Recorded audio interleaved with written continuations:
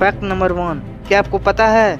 समुद्र में सबसे धीमी गति से चलने वाली मछली सी हॉर्स है। फैक्ट नंबर टू क्या आपको पता है? गिलहरी, जिसको हम स्क्वायरल भी बोलते हैं, इसको लाल रंग नज़र नहीं आता। फैक्ट नंबर थ्री जब हम प्याज काटते हैं तो इससे एक तरह की गैस बाहर आती है, जिसकी वजह से आँखों में जलन होती है और आँखों से आँसू निकलते हैं। इस गैस का नाम सिन प्रोपेनेंथियल एस ऑक्साइड है। फैक्ट नंबर फोर, क्या आपको पता है, हवाई जहाज़ में खाने का स्वाद अच्छा नहीं लगता है, क्योंकि ज़्यादा ऊंचाई होने की वजह से वहाँ पर सूंघने और स्वाद की क्षमता लगभग 30 परसेंट कम हो जाती है।